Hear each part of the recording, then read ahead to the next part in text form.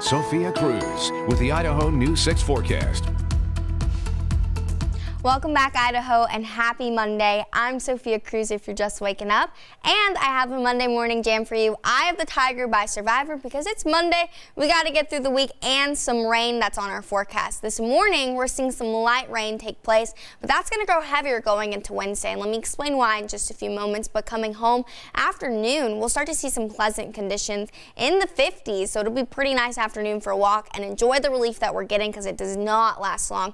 At 8 o'clock tonight, we'll start to see some of this rain coming to the area, growing heavier into 11 overnight Tuesday. We'll really start to see more heavier rain take place. We could even see some thunderstorms and graupel with the heaviest parts of this system. But as we go into Tuesday afternoon, we'll start to see scattered showers across the area with snow from the mountains and then tapering off Wednesday morning. And there is a light at the end of this tunnel. We're going to see a high pressure ridge build over the area, bringing sunny skies and warmer temperatures. But for now, we've got to get through this rain. And here's a better look at what we can see.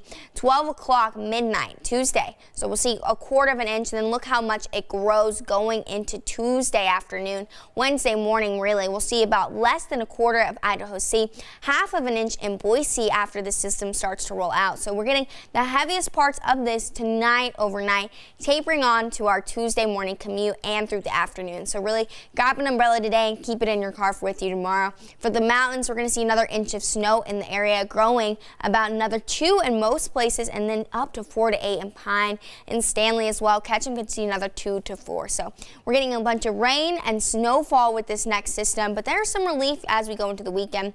As those showers clear out this morning, we'll start to see the heavier ones take place near Caldwell, Ontario, Emmett, and Boise as well. Temperatures still in the 50s.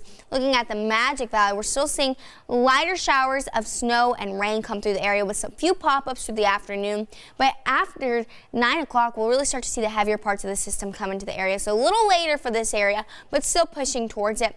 West Central Mountain seeing that snow and rain showers scattered throughout the morning, and then overnight tonight is when We'll see a heavier system take place near Garden Valley, Idaho City, and even Cascade. So temperatures still in the 40s and 50s, which is the good news, and we'll continue to warm as we go into the weekend. But we've got more snow and rain on our radar today. So with that snow shower pushing through east central mountains, they'll start to see the heavier parts really become widespread going into 10 o'clock. So if you're going to be out and about in the town, whether it's in the east central mountains, west central mountains, or in the valley floors, just take those roads slowly tonight.